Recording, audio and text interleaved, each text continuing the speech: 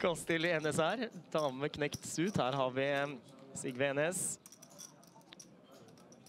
Ja, snakket om Bjørløv eh, og hvor mye han har imponert meg. Han røker dessverre ut på forferdelig måte. Enes har også imponert meg Og se her. Han har åpnet til 550 000 kroner med S konge nå i neste hånd etter at han doblet seg opp.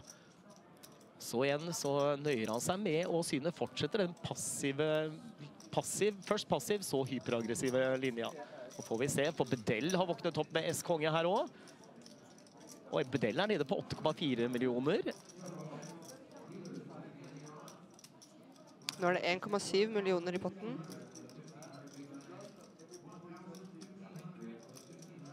Bretter skjetonger. Skal det bli en passiv linje fra Bedell også? Nei, det skal det ikke, for her kommer det brikker.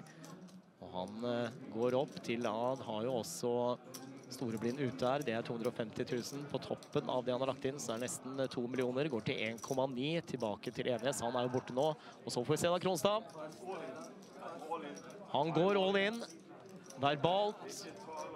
Og setter jo Bedell på prøve her. Bedell har jo ikke lyst til å syne denne villmannen med S-konge. Se på Bedell. Nå vrir han seg. Han sier at noen er den dummeste stuten på kloden. Nei, han sa, han sa at jeg må være Ja. den dummeste stuten på kloden. For han så jo Kronstø gjøre tilsvarende spill her i forrige hånd. Ja, han snakket om seg selv. Ja, han snakket om seg selv her, Bedell. Hva gjør Bedell nå? Han teller brikker. Og hvor mye er det han må, eh, må legge på for å syne? Nei, det er eh, hele stacken, det. For uh, vår chipcount sier at Kronstad har mer enn Bedell nå, så det er for turneringslivet til Bedell. Han har ikke noe ferdig hånd. Vi vet at de har samme hånd.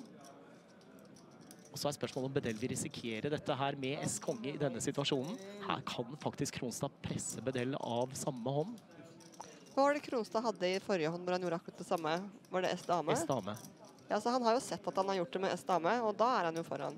Ja, men han frykter jo at han er oppe mot en eh, bedre hånd. Kongepar. Ja, da, for S-par. Kronstad ville gjort eh, det samme med akkurat de hendene også. Mm.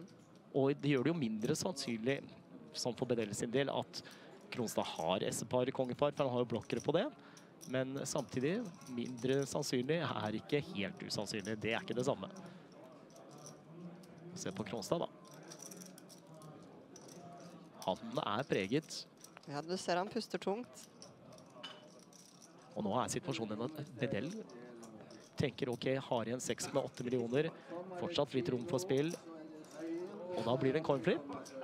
Kron Det er så gøy at han skal avgjøre det med å ta kron og mynt.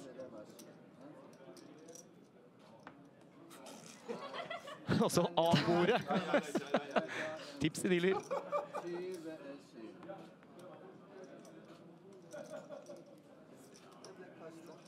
Ja, han kaster.